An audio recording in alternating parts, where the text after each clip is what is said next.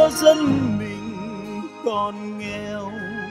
Người theo người cầu thực chốn tha hương, thương cho Việt Nam mình bé nhỏ. Trước ngoại xâm, trước hiến họa diệt vong. Trong bóng tối trại giam, nơi cầm tù những người có tội. Nhưng chớ trêu nào bằng có những người với nặng tình non sông. Bao người vì yêu nước vẫn dẫn thân dấu ngục tù đọa đầy. Dấu chồng gai đây còn có ngày mai, vẫn đôi chân bước đường dài miệt mài.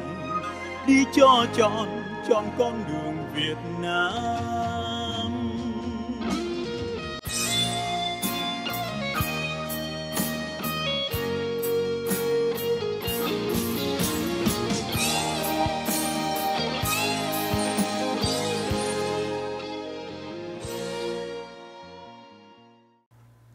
Vị đã chờ đợi và đón xem chương trình SBTN Washington DC.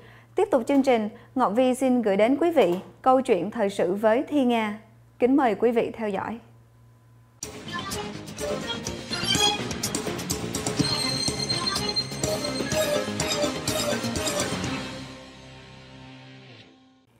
Thi Nga kính chào quý khán thính giả. Thưa quý vị, Chủ nhật đầu tuần này, dân chúng ở Mỹ vừa thức dậy là nghe thấy ngay tin tức dồn dập về vụ xả súng giết hại nhiều người tại Orlando, Florida.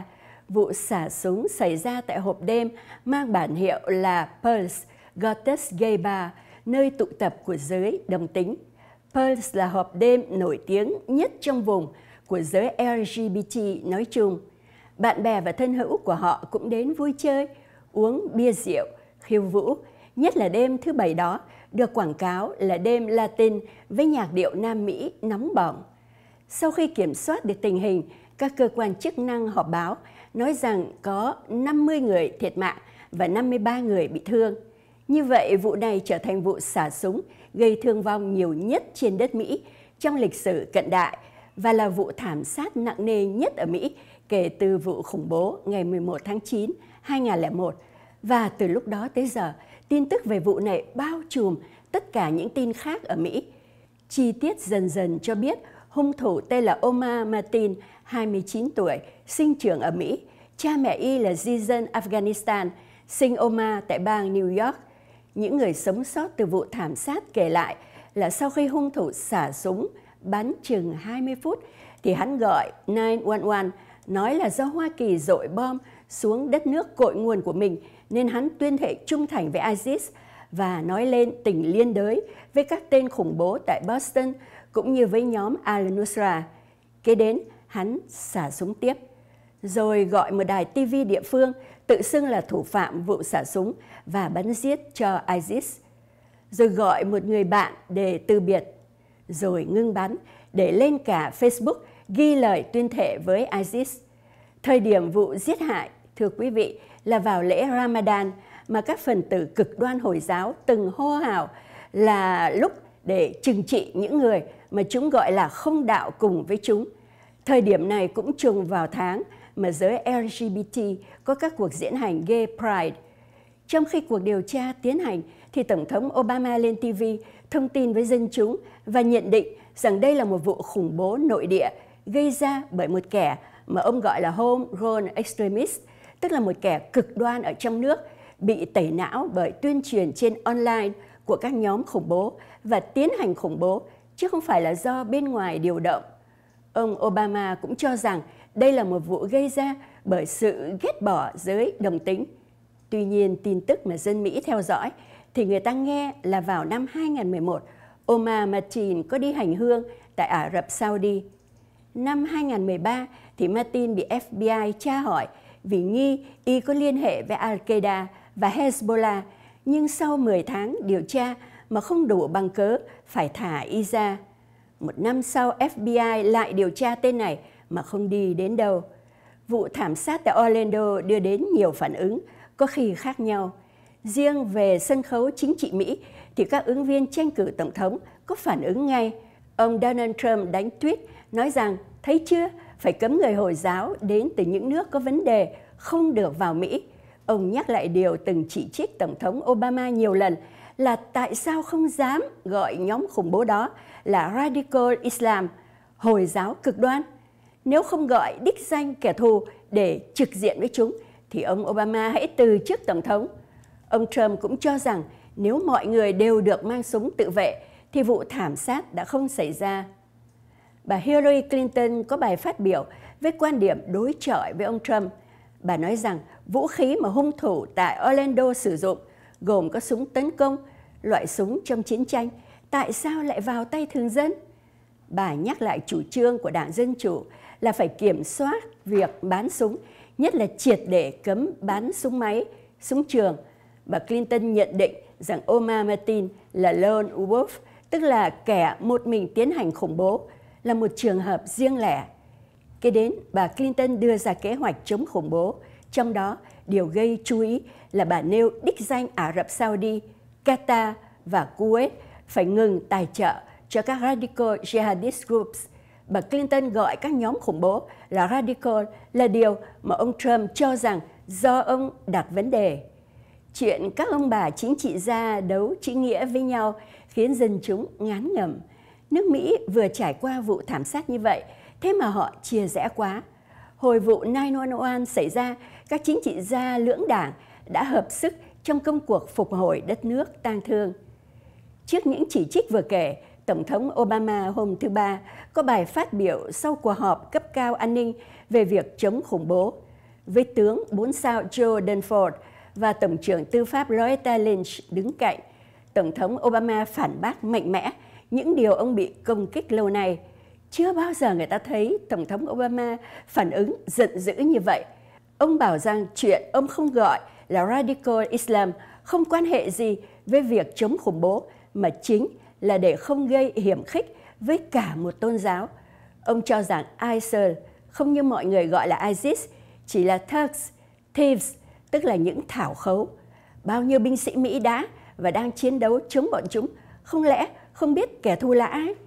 Theo ông Obama thì lời lẽ của một ứng viên tổng thống, ông Obama không gọi tên nhưng ai cũng hiểu ý ông nói ông Trump đi ngược lại những căn bản của Hoa Kỳ và rất nguy hiểm cho đất nước.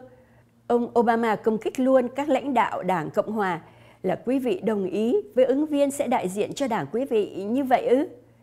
Kế đến, Tổng thống Obama cho biết tiến triển việc chống nhóm ISIL và nhấn mạnh lần nữa tới vấn đề phải kiểm soát chặt chẽ việc bán súng. Ông Trump phản ứng tiếp với lời lẽ mạnh mẽ ủng hộ luật sở hữu súng, đề nghị cấm người Hồi giáo vào Mỹ mà ông Trump đưa ra thì ông Paul Ryan lên tiếng chống và giới lãnh đạo Đảng Cộng Hòa phản bác là vấn đề Tổng thống Obama không gọi là Radical Islam đưa đến chính sách không rõ ràng trong cuộc chiến chống khủng bố. Trong khi đó thì tin tức thâu thập được cho thấy là vụ xảy ra tại Orlando ngày càng phức tạp. Cuộc phỏng vấn bố của hung thủ, ông này kể là cách nay vài tuần, Oma đã rất khó chịu khi chứng kiến cảnh hai người đàn ông hôn nhau trong khi chung quanh có trẻ em và phụ nữ. Người vợ cũ của Oma Martin thì cho biết là tính khí anh ta không ổn định, có lúc giữ tợn với vợ và Oma hay đi họp đêm uống rượu. Ít ra bốn người thường lui tới hộp đêm Perth và các nhân viên tại đó cho hay là Oma Martin thường đến hộp đêm này trong 3 năm qua. FBI lục soát computer của Martin thì thấy là anh chàng này có sử dụng ghe app tán gẫu với người chuyển giới tính. Như vậy, động cơ nào đưa anh ta tới hành vi xả súng giết người? Oma lui tới hộp đêm Perth là để dò xét, chuẩn bị cho âm mưu khủng bố? Hay là thực ra Oma có xu hướng đồng tính và bị xung đột về tâm sinh lý? Giới hữu trách truy ra là cách nay hai tháng, Oma Martin có đến Disney World với người vợ đương thời tên là Noor Salam. Cô này sinh trưởng ở Mỹ, cha mẹ là di dân Palestine. Trong cuộc điều tra đang tiến hành, Salam khai là Martin thổ lộ ý muốn thực hiện một hành động thánh chiến. Từ cả năm nay, cô khuyên chồng bỏ ý định đó và không biết gì thêm.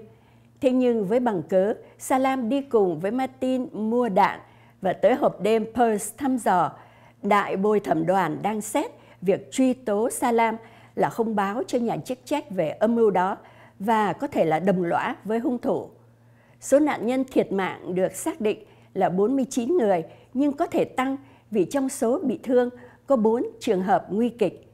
Đa số nạn nhân là người Puerto Rico.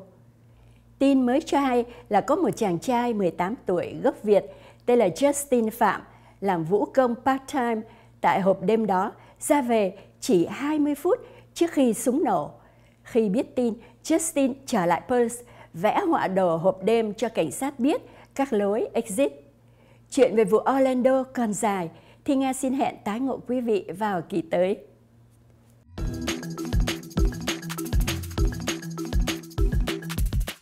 Cáo phó, gia tộc chúng tôi trân trọng báo tin cùng thân bằng quyến thuộc và bằng hữu của bà Maria Trần Phi Hùng, nhũ danh Vũ Thị Bạch Tuyết, sinh ngày 31 tháng 12 năm 1944 tại An Bài, huyện Hải Hậu, tỉnh Nam Định, Việt Nam, đã được Chúa gọi về nước thiên đàng lúc 11 giờ 33 AM ngày thứ ba 14 tháng 6 2016 nhằm ngày 10 tháng 5 Bính Thân tại tư gia ở Springfield, Virginia, hưởng thọ 72 tuổi.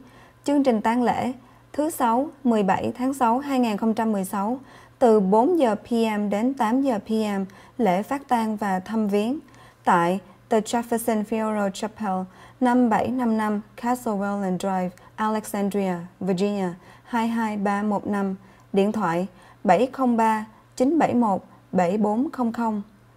Thứ Bảy, 18 tháng 6 2016, lễ nghi tôn giáo từ 10 giờ 30 AM tại Thánh đường Street Lawrence Catholic Church 6222 Franconia Road, Alexandria, Virginia 22310, điện thoại 703 971 4378. Lễ an táng 12 giờ 30 PM tại Nghĩa trang nhà thờ Đức Thánh Từ Đạo Việt Nam, Fairfax Memorial Park, 9902 Braddock Road, Fairfax, Virginia 22032, điện thoại 703 425 9702.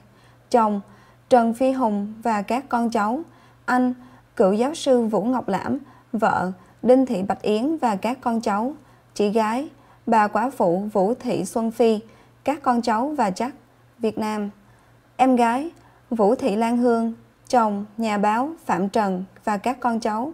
Em trai Vũ Đức Tiên, vợ Đỗ Thị Ngọc Lan và các con tan gia đồng khắp báo. Cáo phó này thay thiệp báo tang xin miễn phóng điếu. Toàn thể ban biên tập và kỹ thuật SBTN DC xin thành kính phân ưu và nguyện cầu cho linh hồn Maria sớm hưởng nhan Thánh Chúa. Kính thưa quý vị, đến đây, chương trình phát hình của SBTN Washington DC xin được chấm dứt. Cảm ơn quý vị đã theo dõi. Kính chúc quý vị những giờ phút còn lại của ngày hôm nay thật an bình và hạnh phúc. Chúng tôi xin kính chào tạm biệt và hẹn gặp lại quý vị vào kỳ phát hình lần tới.